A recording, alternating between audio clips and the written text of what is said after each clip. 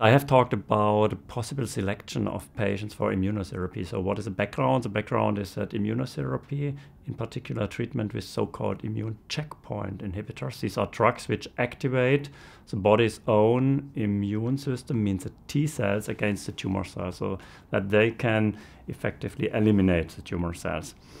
And this has become really, this was a dream for decades for immunologists, but this has become, since a few years, reality for lung cancer patients. So, there is approval of such drugs in the second line setting means after failure of chemotherapy.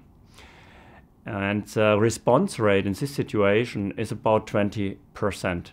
Means 80% of these patients do not respond at all, so they have no benefit from this new therapy. So you treat a lot of patients which have no benefit. On the other side, there are about 20%, but you cannot select these before therapy, or this is a major challenge. But you can select better and better with measuring the expression of the so-called molecule PD-L1. PD-L1 is expressed on the tumor cells, and if the tumor cells express PD-L1, then there is a higher probability to select the patients so that they have clinical benefit, means shrinkage of the tumor and also a longer survival. So this has become reality now in the first line setting means since last year in the United States and soon also in Europe, pembrolizumab, this is one of these immune checkpoint inhibitor, is approved also in treatment naive patients, but only in patients who have a very strong expression of this PD-L1.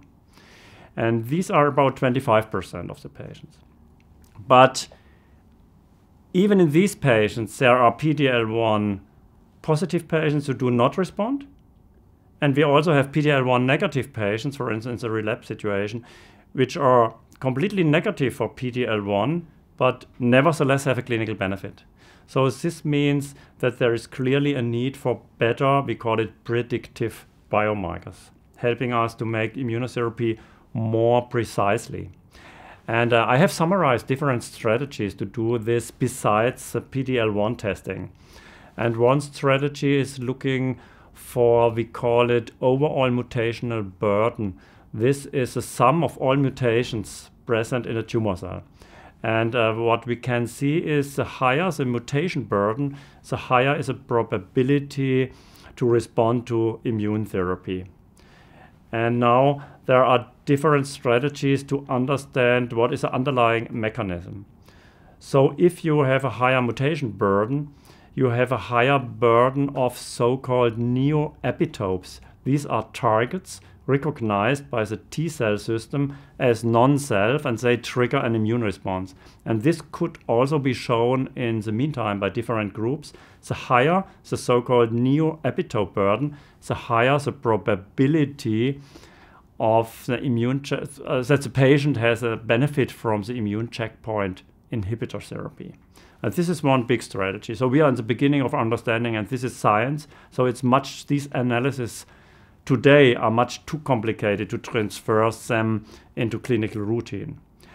And the second approach is that if we want to understand the interaction between the tumor cell and the T cell, which should eliminate the tumor cell, we cannot focus only on these two cells, but these two, because these two cells are in the context of the so-called tumor micromilieu means they are not alone interacting, but there are a lot of other cells. So the immune system consists of many other cells, natural killer cells and, and specialized T cells, B cells.